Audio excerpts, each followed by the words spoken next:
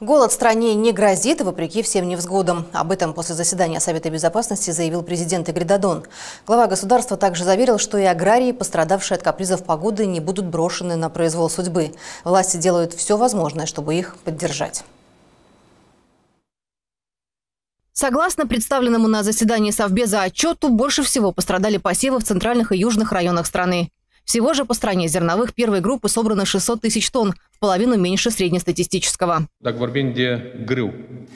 La această etapă sunt recoltate 440 de mii de tone de grâu în Republica Moldova.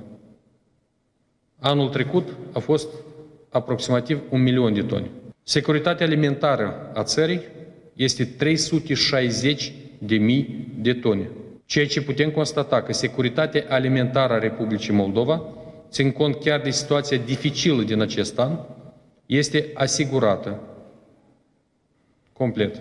Власти готовятся к тому, что и зерновых второй группы соберут на 50% меньше, чем в прошлом году. По словам Игоря Дадона, на складах Госрезерва есть еще 50 тысяч тонн урожая прошлого года. С фуражом тоже все будет непросто, но кормов хватит, утверждает президент. De obicei, porumb în Republica Moldova, noi anual recoltăm 2, circa 2 milioane de tone. În anul trecut a fost 2 milioane de tone. Securitatea alimentară furageră, adică consumul intern, este de 700 de mii de tone. De obicei, noi exportăm 1 milion, 1 milion 300 de mii de tone. Estimăm în acest an roada de porumb de peste 1 milion de tone. Necesarul intern este de 700 de mii de tone. На поддержку пострадавших от засухи аграриев правительство дополнительно выделило 300 миллионов леев. На компенсацию могут рассчитывать те, у кого пропали озимые, кукуруза и подсолнечник. Acest an, fondul total a agriculturii este de 1 miliard 100 milioane de lei. Pentru comparație, anul trecut au fost puțin peste 900 de milioane. Noi deja suntem cu 200 de milioane în creștere bani alocați de la bugetul de stat față de anul precedent. În afară de aceasta, Noi am discutat astăzi detaliat cu colegii de la guvern și vor fi alocate suplimentar circa 300 de milioane de lei. Este vorba de mijloace care au fost depistate pe intern. Stimați agricultori, la sigur va fi suport necesar și pentru группа 2. Игорь Дадон подчеркнул, речь идет о помощи, которую власти изыскали из внутренних источников, но они собираются прибегнуть и к внешним. Ne-am adresat partenerilor externi Eu am avut discuții cu conducerea Federației Ruse, sperăm să obținem un suport în formă de motorină pentru agricultorii care au fost cel mai mult afectați.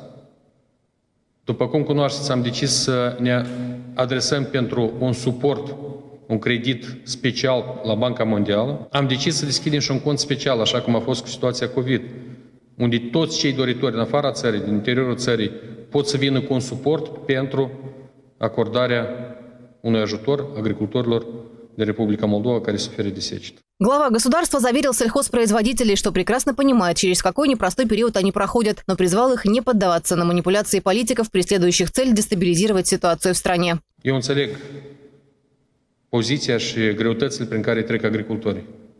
Înțeleg foarte bine. Dar blocarea străzilor și încercarea de a merge pe discuții politice, de la aceasta bani mai mulți în buget nu vor apărea. Noi deja am acordat practic maximul ce am putut. Noi nu putem în salariile, pensiile, să acoperim пердерли на агрикультуру. Ситуация в области сельского хозяйства и поддержка местных фермеров были наиболее важными темами, затронутыми на последнем заседании правящей коалиции ПСРМ-ДПМ с участием премьер-министра Иона Кику и президента Игоря Додона. Во время встречи премьер заявил, что исполнительная власть продолжает оценку ущерба и окажет дополнительную поддержку фермерам. Во вторник в результате диалога между депутатами ПСРМ, ДПМ, ПДС и ППДА была создана рабочая группа по поиску решений проблем сельхозпроизводителей.